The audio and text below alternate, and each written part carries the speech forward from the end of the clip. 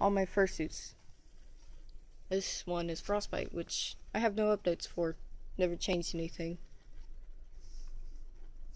Just Frostbite Halloween mask. Next one is a head that I got from Walmart, you know. But mask mold and I'm gonna I'm gonna change it so it has an original design and ear tufts inside the ears. And cheap fur. I'll change this so it doesn't look horrible. His name is Whisker by the way.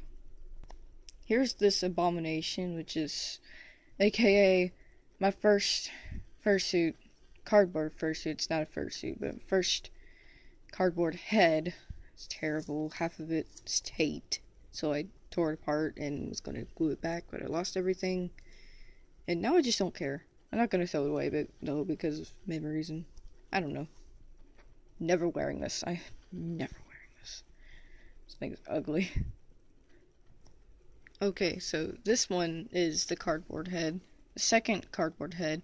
I'm not wearing this one either because it's cardboard. I would if cardboard wasn't so dangerous when getting wet, but don't take that out of context, please. but I don't know. It's very messy and stuff anyways. I wouldn't wear it. Guess. Last one is Orez. Still unfinished. I'm working on the other ear. I finished one ear, kind of, but not really anything new about him. Just same old messy head. Just gotta fix.